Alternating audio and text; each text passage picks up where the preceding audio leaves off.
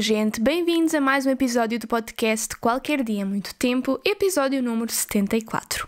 Neste momento vocês devem se estar a perguntar como é que estás, Bárbara? E eu não sei bem como responder, porque eu acabei de passar 40 minutos a gravar um episódio para este podcast. Este episódio, mais concretamente, para chegar ao final e me aperceber que me esqueci de ligar o fucking microfone. Se vocês soubessem a força que eu tive de fazer para não chorar por causa disso, um, eu ia explodindo por dentro. Isto já me aconteceu. Eu acho que nunca me tinha acontecido com um podcast, por acaso, mas já me aconteceu muitas vezes uh, com vídeos e coisas assim. Um, ou, não, ou não me lembrar de pôr o microfone, ou não ligar o microfone à câmara, ou gravar o episódio todo e o foco da câmara estar no fundo em vez de estar em mim, ou sei lá, gravar. E ah, já me aconteceu gravar com batom no dente ou coisas assim do género. Um, isso são tudo coisas que implicam refazer o trabalho que se fez, porque por mais que eu pudesse ter feito upload na mesma do episódio que gravei. Uh, o som estava tipo meio com eco, ouvia-se os passarinhos na rua, não estava com a qualidade que um podcast deve ter, ainda para mais o podcast sendo só com som, ainda se nota mais quando o som não está um, como deve ser, não é? Então respirei fundo 50 vezes, fui almoçar e agora voltei cá para cima para regravar este episódio. E eu comecei o episódio a, a dizer-vos, a partilhar mais ou menos como é que estava o meu mood hoje, a dizer que estava com um mood estranho porque quando eu pensava racionalmente sobre como é que eu me estava a sentir, eu achava que estava bem disposta. Mas depois parecia que estava qualquer coisa que me estava a retrair e a deixar-me com o mood um bocado mais em baixo e eu não sabia bem o que era. E até, até fiz o paralelismo com aquela situação de quando nós saímos de casa e sabemos que temos tudo, mas temos sempre aquela sensação de que nos estamos a esquecer de alguma coisa. Pronto, é mais ou menos assim que eu me sinto hoje. Aliás, era assim que eu me estava a sentir. Um, mas entretanto tive meio que um breakdown. Não sei bem uh, porque talvez o facto de ter perdido 40 minutos a gravar um podcast e que foi diretamente para o lixo uh, tenha ajudado. E eu sei que não é dramático. Mas o meu tempo agora é muito escasso, obviamente, por causa do Duarte. Então, o, o facto de eu conseguir tirar ali 40 minutos para estar a gravar e depois uh, esses 40 minutos não servirem para nada, acaba por ter um peso muito maior agora do que teria noutra altura qualquer. Um, e depois também é o facto de eu não estar completamente bem um, ultimamente. E eu já tenho partilhado isso com vocês, vocês já sabem, uh, não só o cansaço da maternidade e do pós-parto, como o facto de ter perdido muito hum, a minha independência e a rotina a que eu estava acostumada, um, tem mexido muito comigo nos últimos meses e principalmente nas últimas semanas. Uh, também não ajuda nada o facto de estarmos todos cá em casa na mesma situação. Estou eu, estou está o Ricardo, está a minha mãe, está o meu avô e estamos todos frustrados, como toda a gente no mundo inteiro praticamente está frustrada por estar em casa, sem trabalhar, sem ganhar dinheiro ou sem poder estar com os amigos. Um, e pronto, e eu ainda ainda agora tive assim meio que um.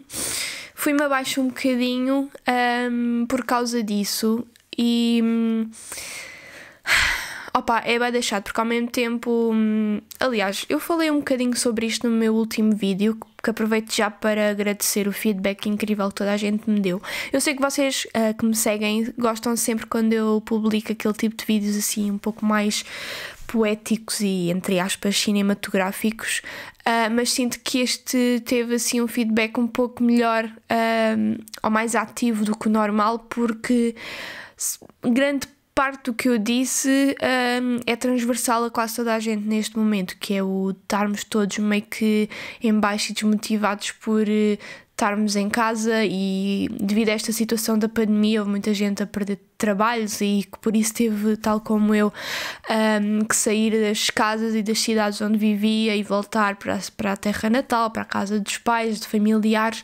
Um, então percebi através dos comentários e das mensagens que, que fui recebendo que está muita gente na mesma situação. O que, por um lado, é fixe porque faz-nos compreender que não somos os únicos e que os nossos sentimentos são válidos, apesar de uh, termos muita coisa pela qual, pelas quais agradecer. Um, por outro, é um bocado triste termos chegado a um ponto em que estamos todos realmente assim, não é?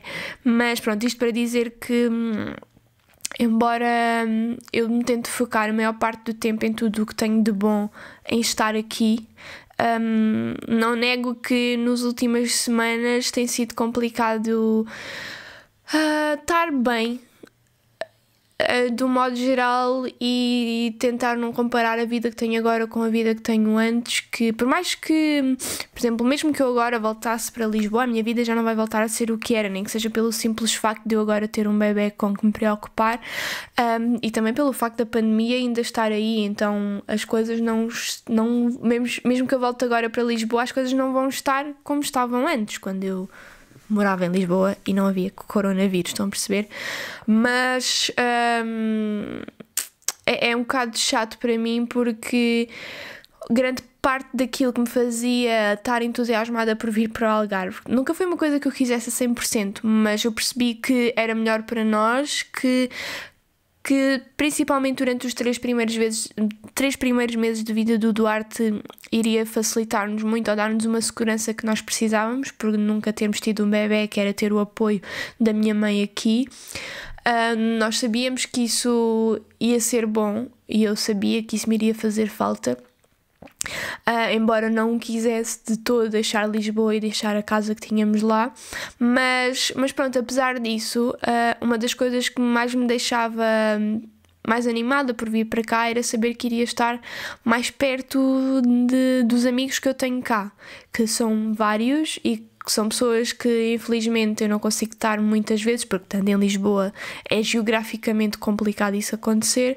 Um, então eu fiquei tipo, ah, yeah, ok, vamos deixar. Eu sabia que iríamos deixar de ter tanta uh, independência, que a nossa rotina ia sofrer muitas alterações, mas eu pensava, ok, mas pelo menos vou estar perto dos meus amigos e, e posso sair com eles de vez em quando e desanuviar, e depois quando o bebê nascer uh, posso estar com eles também. E estava entusiasmada por introduzir introduzir o Duarte na vida deles, introduzir a vida eles na vida do Duarte e na nossa. Enfim, estava entusiasmada com isso tudo e a, e a verdade é que eu já estou cá há mais de seis meses e eu praticamente não tive com ninguém. Então, essa frustração de eu sentir que estou tão perto das pessoas de quem gosto aqui e não consigo e não posso estar com elas, com toda a carga que esse isolamento provoca no nosso, no nosso bem-estar, mais o cansaço de ter o bebê e sentir que o meu tempo é sempre escasso, um, não me tem ajudado nada. E eu sinto que não estou num sítio muito fixe em termos mentais por causa disso. Um, claro que eu às vezes, ainda agora estava a falar com o Ricardo, obviamente, foi com ele que eu desabafei sobre isto.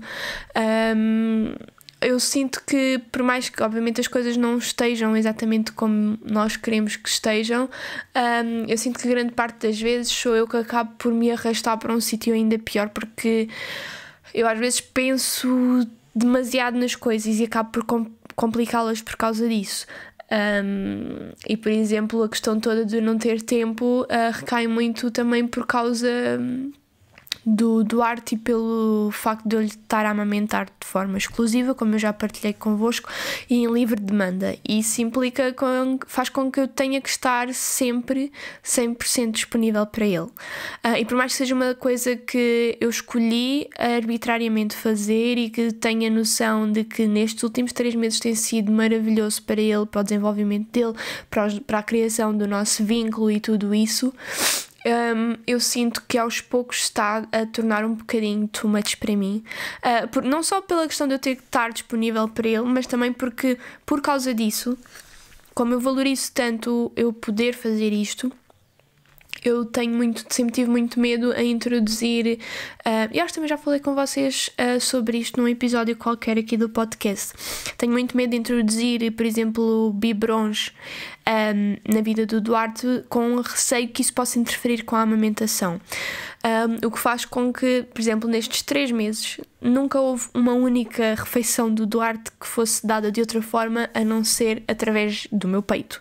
Ou seja, um, o, du o Ricardo nunca lhe deu biberon, nem a minha mãe, ou seja, nem eles tiveram a oportunidade de fazer. Nem o Ricardo teve a oportunidade de ter, vá, meio que essa troca e essa uh, esse papel ativo na, na, relação dele com o Duarte, como eu própria nunca consegui libertar-me a esse ponto, género, ok, um, ehm, eu agora preciso de ir fazer não sei o quê durante não sei quantas horas, um, ehm, mas está aqui o leite que podes dar ao Duarte através do Bibron e não precisas de mim, nem ele precisa de mim e fica tudo resolvido. Um, ehm, porque eu não quis, e de certa, e de certa forma não, eh, de todo que me arrependo, não me arrependo nada porque conseguir amamentar o meu bebê ao longo de 3 meses, 4 meses, não sei quanto tempo mais é que irá durar, um, sem, sem precisar de ajuda, ajudas externas, é incrível. E eu uh, orgulho muito disso, mas acho que a partir do momento em que pode eventualmente começar a interferir com o meu bem-estar e com Pronto, exatamente. Com o meu bem-estar psicológico, acho que é tempo das coisas se alterarem e de eu relaxar e descomplicar, porque a pior coisa que pode acontecer é eventualmente o Duarte deixar de se interessar de estar no meu peito e eu precisar de, sei lá, comprar uma bomba elétrica para extrair o leite, ter sempre congelado. Um, e sempre que eu precisar de comer, eu faço através do biberon. Tipo, é o pior que pode acontecer. Ou ter de, de lhe dar fórmula pronto, ele sem comer não vai ficar, isso é óbvio. E eu às vezes acho que tenho que me. tenho que relaxar um bocadinho e. E lembrar-me disso, porque também não faz sentido e não é bom, bom nem para mim, nem para o Ricardo, nem para o Duarte eu estar sobrecarregada e exausta e desmotivada por sentir que não tenho um segundo para mim. Uh, portanto, acho que este breakdown que eu acabei por ter hoje foi bom para eu cair em mim e ter consciência disso, de ok, Bárbara, não é o fim do mundo. A amamentação já está estabelecida, portanto, isso é sempre um ponto bónus para diminuir a probabilidade de, de haver a confusão de bicos e dele deixar de querer mamar no meu peito. Portanto, tentar agarrar-me a isso e mesmo que acabe por acontecer, lá está. Existem biberons para isso, existem. Eu sei que há outras formas de dar o leite através de copinhos e coisas assim, portanto.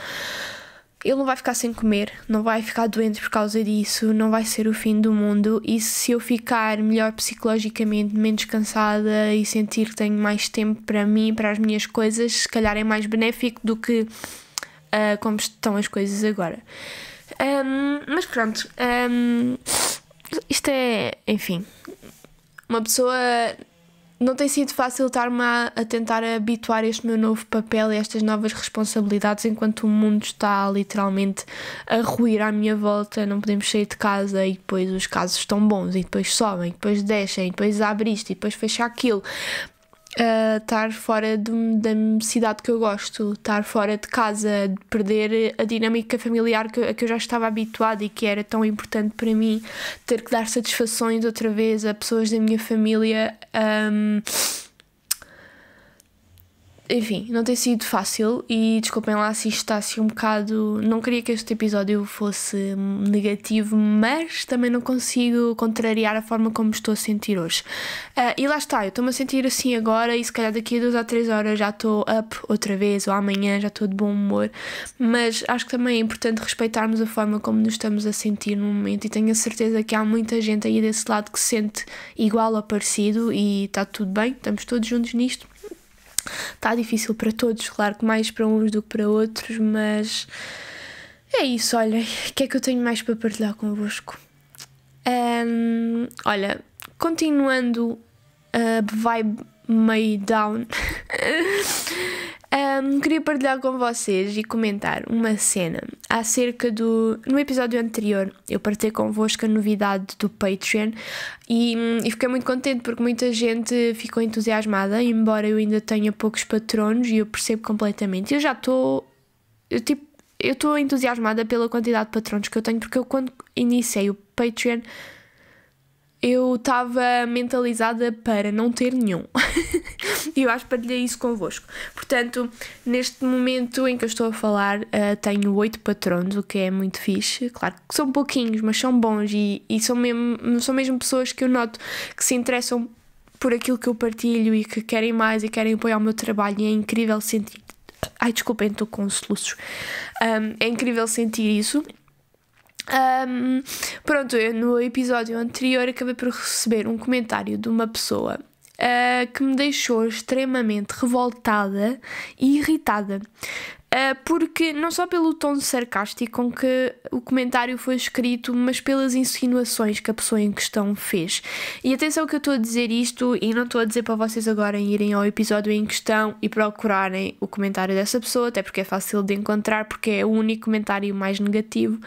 Um, e talvez seja esse o problema. Se calhar eu fiquei tão incomodada porque a minha comunidade é tão fixe e tão positiva que é muito raro eu receber comentários um, ofensivos e de mais mau tom. Então aquilo caiu mesmo muito mal, principalmente pelas insinuações que a pessoa uh, fez em questão. Fez em questão, já nem sei falar. Pronto, eu estava a dizer que não vale a pena vocês irem uh, procurar o comentário e responder para me defender, que eu não quero todo alimentar mais aquilo e causar confusão. Estou só a comentar porque acho que merece ser comentado o tema em questão.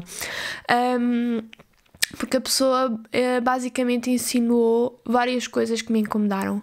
Primeiro, insinuou-me que eu estava a tentar enganar os meus seguidores ao prometer conteúdos extra como se isso fosse uma coisa muito fixe, quando na verdade é só uma forma de iludir as pessoas para elas pagarem e nós recebermos dinheiro, quando na verdade os conteúdos exclusivos não, não têm interesse nenhum ou muitas das vezes não são cumpridos. Um, isso obviamente incomodou-me muito a pessoa achar que eu seria capaz de enganar os meus. Aliás, até porque é uma coisa que, mesmo que eu enganasse, teria rédea curta ou duração curta, porque a pessoa até poderia subscrever o primeiro mês, via que eu não cumpria o que prometia ou que o que eu oferecia não, não era do seu agrado, e no mês seguinte já não já não voltava a subscrever ou cancelava a subscrição. Portanto, não é de todo um tipo de coisa que uma pessoa se tenha que comprometer a longo prazo. Nem são valores exorbitantes ao ponto de ser considerado um, opa, um roubo de todo. Até porque não é de todo um roubo se é a pessoa que, por livre e espontânea vontade, escolhe ou não subscrever. Mas pronto, uh, depois outra coisa que também me, me incomodou muito foi porque a pessoa disse: Ah, esta nova mania de, dos criadores de conteúdo criarem Patreon porque uh, as plataformas não pagam é mesmo parvo. Um, se querem tanto assim dinheiro, vão para um trabalho a sério que recebem tanto ou mais. E esta então, esta, esta frase então ficou muito atravessada por várias razões. Primeiro, porque hum, eu trabalho e eu tenho um trabalho para além das redes sociais uh, que só não estou a exercer neste momento porque não posso. Porque acabei de ser mãe, mãe, tenho um bebê pequenino, porque até há muito pouco tempo nem podia exercer por causa do Covid um, e olha, só um, só um à parte, uh, desculpem se vocês estão a ouvir muitas fungadelas da minha parte, mas eu estou com um ataque alérgico enorme, então vou estar a fungar. Peço desculpa, mas faz parte. E agora vou-me assoar. Um, pronto. Um, tenho um trabalho que só não estou a exercer porque não posso ainda um, e custou-me muito ver que essa pessoa estava a insinuar que eu não trabalhava e que queria ganhar dinheiro à pala dos meus subscritores. Um, pronto, essa foi a primeira. A segunda, a segunda razão pela qual também me incomodou foi o facto eu não percebo, um, isto é algo que tem sido discutido nos últimos anos, uh, conforme um, as redes sociais e YouTube, isso foi, foi ganhando palco na vida das pessoas, que é a incompreensão total em relação a criadores de conteúdo ganharem dinheiro com o trabalho que fazem. Todos os trabalhos, praticamente, são, ou pelo menos deveriam ser pagos. Alguém que faça um trabalho, seja ele qual for, o mínimo que deve acontecer é essa pessoa receber pelo trabalho que faz. Quer seja logista, quer seja professor, quer seja modelo, quer seja o senhor que varre as ruas, seja quem for, merece receber justamente pelo trabalho que faz. Mas parece que esta lógica nunca se aplica quando uma pessoa cria conteúdos para a internet, sejam eles vídeos, fotografias, para o Instagram, seja o que for. E a minha pergunta é: porquê? Qual é a cena? Se eu acho que isto vem muito porque as pessoas ainda, muita gente, eu, eu sei que muita gente já compreende, mas há muita, muita gente ainda que não consegue compreender o trabalho por detrás de um singelo vídeo de 10 minutos ou por trás de uma fotografia no Instagram. Uh, acho que há muita gente que ainda acha que as, as ideias surgem do nada, que as pesquisas surgem do nada e que é só pegar numa câmera falar durante 10 minutos e espetar o vídeo na internet, quando uh, o trabalho é muito maior que isso. Um, não só o ter as ideias constantemente, várias vezes por semana, várias semanas por mês, todos os dias do ano, praticamente, uma pessoa ter, não conseguir descansar a cabeça uh, porque está constantemente em busca de ideias para conteúdos publicar, um, como as pesquisas para esses conteúdos serem elaborados, o tempo de gravação, que para um vídeo de 15 minutos muitas vezes significa que uma pessoa teve 40, 50, uma hora e meia a, a gravar ou mais, depende muito do tipo de vídeo. O tempo de edição, que ainda é mais, é das coisas mais uh, time consuming e mais cansativas e maçadoras uh, neste trabalho. Um, há muita coisa por trás uh, e as pessoas não entendem isso. Muitas das vezes, na maior parte das vezes, um criador de conteúdo principalmente um youtuber, uh, passa muito mais horas a trabalhar do que uma pessoa que trabalha, por exemplo, num banco ou num escritório, que trabalha das 9 às 6, tem ali uma ou duas horinhas de almoço e dois, uh, dois dias de folga por semana. Isso não acontece, ou normalmente não acontece a um youtuber. E estou aqui a usar o o exemplo que conheço melhor, não é? Porque não há dias de folga, não há horários de trabalho e, e sim, por um lado é fixe porque se vocês precisarem ou quiserem ir passear, um, podem fazê-lo quando quiserem, mas depois os outros dias têm que compensar e se calhar acordam às 9 da manhã, começam a trabalhar essa hora uh, e só acabam à uma da manhã, se for preciso, sem pausas, sem ajuda, porque são os youtubers normalmente são pessoas que hum, juntam neles próprios uma série de funções que numa empresa teriam uma série de pessoas e departamentos diferentes. Por exemplo, um, um youtuber é como é que eu ia dizer? É operador de câmara, é editor, uh, faz a parte da publicidade, do marketing, uh, de comunicação, isso tudo, mais a parte de. Como é que eu ia dizer? Tipo, imaginem, IRS, seguranças sociais, uh, recursos humanos e não sei o quê, está tudo concentrado numa só pessoa. Muitas vezes, das vezes é um trabalho extremamente solitário e eu acho que o mínimo é nós podermos querer receber em troca disso. Um, e sim, o YouTube uh, paga muito mal em termos de visualizações, por isso é que muitas das pessoas, uh, principalmente as youtubers e os youtubers maiores, fazem muitas parcerias, porque é a forma mais eficaz de receber algum dinheiro uh, que dê para sobreviver. Mas depois, quando as pessoas uh, fazem esse tipo de parcerias, as pessoas, uh, os seguidores, os, os espectadores não gostam porque acham que só por um trabalho ser pago já não é genuíno, que a pessoa está a ser vendida, quando na maior parte dos casos, claro que há exceções, mas isso é como em tudo, um, mesmo que seja uma parceria, mesmo que seja um trabalho pago, as pessoas só partilham e só fazem conteúdo sobre um determinado produto ou serviço se gostarem, se se identificarem, se acharem que o seu público vai gostar também. É muito raro não acontecer isso. Um, e depois, mais especificamente acerca desta coisa do Patreon, uh, eu fiquei mesmo incomodada não só com as insinuações, como pelo facto da pessoa um, basicamente insinuar que eu estava errada por fazer isso, quando é uma das coisas mais honestas. Uh, Imaginem, eu não estou com planos maléficos para vos sacar dinheiro e não dar nada em troca. Nem vos estou a impingir ou a, a obrigar a subscrever uma coisa, nem a dizer que a partir de agora todos os conteúdos que eu vou partilhar vão ser pagos. De todo, vai continuar tudo igual. A única diferença é que quem quiser subscrever ao Patreon vai ter mais conteúdo. É a única diferença. Quem escolher não, não subscrever, que está completamente à vontade, vai continuar a ter o mesmo tipo e a mesma quantidade de conteúdo que sempre teve, que eu sempre publiquei. Portanto, onde é que está o engano? Onde é que está o problema? E depois outra questão que eu também queria partilhar aqui convosco e fazer meio que um brainstorm é quando uma pessoa quer ver eh, uma série ou um filme na Netflix, na HBO, qualquer coisa assim do género, tem de pagar uma mensalidade ou uma anualidade e ninguém questiona isso. Faz parte, é o justo, vocês estão a pagar por um serviço.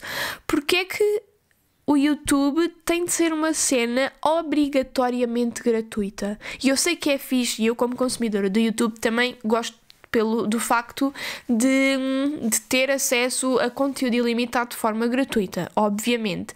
Mas nunca me passaria pela cabeça um, ofender ou, baix, ou que essa pessoa em questão baixasse pontos na minha consideração por ela criar uma conta de Patreon para poder eventualmente ter ali um income extra ao fazer mais conteúdo. Um, porque é que isso incomoda tantas pessoas? Porque é que Epá, juro que eu não consigo compreender, nem consigo bem que um, expressar a minha opinião, porque é uma coisa que não faz mesmo sentido na minha cabeça. Mesmo que eu quisesse agora um, que todo o meu conteúdo fosse pago e deixasse de fazer de forma pública, como tenho feito até agora, eu estava completamente no meu direito. Se o faria, não. Se o farei, nunca o farei. Mas estava no meu direito, porque eu estou a trabalhar estou a produzir conteúdo e estaria a. Não, não, não era uma coisa completamente descabida eu fazê-lo opá, em troca de dinheiro. Toda a gente trabalha em troca de dinheiro. Porquê é, que, porquê é que nós temos de ser exceção e de repente, quando arranjamos formas de receber algum, é sempre um 31, é sempre um escândalo, como se nós conseguíssemos vender, viver à base de visualizações ou de batons entregues em casa mesmo quem recebe muita coisa em casa, os recebidos, as marcas, as roupas, a maquilhagem, por mais que sim, há muita gente que recebe muita coisa desse tipo e há muita gente que fica meio que. Como é que eu ia dizer? Uh, fica encantada com essa com essa realidade, a verdade é que eu não posso pegar em meia dúzia de batons ou de t-shirts que me enviem para casa e ir pagar a conta da luz. Ninguém me deixa pagar a conta da luz assim. Eu não consigo ir, ao supermercado e comprar comida em troca de sapatos que me possam oferecer. Portanto, isso não chega. Por isso é que acho tão injusto as pessoas, os criadores de conteúdo, serem sempre um, ofendidos e meio descredibilizados quando fazem alguma coisa em troca de dinheiro. O dinheiro é o que nos permite viver neste mundo. E feliz ou infelizmente é essa a realidade e é injusto achar que nós somos exceção. Nós precisamos de dinheiro como toda a gente e se, desde que esse dinheiro seja arranjado de forma uh, justa, legal e transparente, eu não vejo qual é o problema. Portanto, digam-me o que é que vocês acham acerca deste assunto. Foi mesmo uma coisa que me irritou porque eu não estou a fazer nada de mal. Eu estou só a dizer que se vocês quiserem apoiar mais o meu trabalho e ter acesso a alguns conteúdos extra, que o podem fazer uh, pagando um valor simbólico. Eu acho que é um valor simbólico em troca daquilo que eu, que eu ofereço. Vocês têm direito a um podcast extra todos os meses, têm direito a receber uma ilustração minha todos os meses diferentes diferente entregue em vossa casa. E só para vocês terem noção, um, por exemplo, o nível mais alto custa 10 euros. Um, e eu se vendesse as ilustrações uh, ao público, assim, de forma independente do Patreon, eu venderia cada print a muito mais de 10 euros. Portanto, eu já estou meio que não é descredibilizar o, o meu trabalho porque estou a fazê-lo em troca de apoio das pessoas e do dinheiro das pessoas, mas é só para vocês perceberem que se eu o fizesse de outra forma, de uma forma menos exclusiva, eu provavelmente fazia muito mais dinheiro. Mas para mim não faz sentido, pelo menos não nesta fase. Eu acho que é um presente bonito para quem quer um, arbitrariamente apoiar o meu trabalho, o meu canal e aquilo que eu partilho nas redes sociais. Portanto, não vejo onde é que possa estar o problema. E quem eu estou a dar o meu exemplo, porque obviamente é o que faz mais sentido, mas quem fala de mim fala de outro conteúdo, de outro criador qualquer que tenha Patreon e acho que, que se há pessoas dispostas a pagar Uh, ninguém tem nada a ver com isso, é porque não é problemática, é porque para essas pessoas faz sentido. Portanto, enfim. Uh, fica aqui o meu pensamento acerca deste assunto. E, e para desanuviar um bocadinho uh, e mudando drasticamente o assunto do. O assunto da conversa, queria só partilhar convosco algo que aconteceu ontem que me deixou bem contente. É uma cena muito simples, não fiquem com grandes expectativas, mas dado o contexto em que nós vivemos hoje em dia, eu fiquei bastante contente que foi o ter ido às compras uh, pela primeira vez com o Duarte. E é triste isto ser uma coisa muito especial, mas hoje em dia é assim, ir às compras é um acontecimento. E eu já não me lembro a última vez que fui às compras. Só para, acho que não ia às compras praticamente desde que desde que dei à luz porque tenho que estar sempre perto do Duarte. Um, e ontem não só fui às compras, como trouxe o Duarte comigo. Foi assim a primeira vez que ele saiu de casa sem ser para ir ou para o médico ou para a casa dos pais do Ricardo. Um, e por mais que, por um lado, fique com receio, porque o vírus ainda anda aí e não sei o quê. Uh, por outro lado, o Duarte já tem 3 meses e ele praticamente nunca saiu aqui de casa, praticamente nunca viu outras pessoas para além de nós. Um, e eu começo a pensar se isso terá algum tipo de repercussões no desenvolvimento dele. Então achei que era seguro o suficiente eu arriscar nesse sentido para ele ter outro tipo de estímulos, para ver outros sítios, sentir outros cheiros, ver outras pessoas. Um, então fomos ontem com ele ao supermercado e correu muito bem. Uh, a maior parte do tempo ele esteve tranquilo no carrinho, olhar para tudo o que estava à volta, assim com os olhinhos muito atentos e curiosos. Um, eu estava com um bocado de receio que ele depois começasse a chorar imenso e eu não conseguisse acalmá-lo e toda a gente começasse a olhar e... Mas pronto, acabei por pôr esse pensamento de lado e pensar, ok, o pior que pode acontecer é ele começar aos berros, eu pegar nele, ir para o carro, dar-lhe mamar, aquela coisa assim do género. Portanto, não seria o fim do mundo. E não foi preciso. A verdade é que ele teve quase sempre bem e começou a chorar um bocadinho no, no final, mas nada por aí além, deu tempo deu perfeitamente tempo de acabar de pagar as coisas, pôr tudo no carro e ele ainda estar minimamente tranquilo. Portanto, foi assim uma, uma meta boa de se alcançar e fiquei contente. E só o facto de poder sair um bocadinho aqui de casa me deixou com um ânimo logo diferente. E eu mal posso esperar para. Agora lembrei-me da música do Rei Leão. Eu mal posso esperar para ser rei. uh, mas já mal posso esperar para que isto volte tudo um bocadinho mais ao normal, para sermos todos vacinados e. Ai, juro, eu sei que estamos todos desesperados, mas eu estou mesmo desesperada. Enfim, olha, eu estou com uma moca de sono neste momento por causa da alegria, da alegria, já nem sei falar, da alergia que vocês nem imaginam. Portanto, Uh, também já estamos assim com 32 minutos de podcast, já é um bom tempo. Portanto, eu acho que fico por aqui. Também não tinha assim mais nada de muito interessante para partilhar convosco. Digam como é que vocês estão, se estão a aguentar, se também têm tido breakdowns como eu tive hoje. uh, estamos juntos. E, e é isso, espero que tenham gostado. Vemos para a semana para mais um episódio. Tchau, tchau.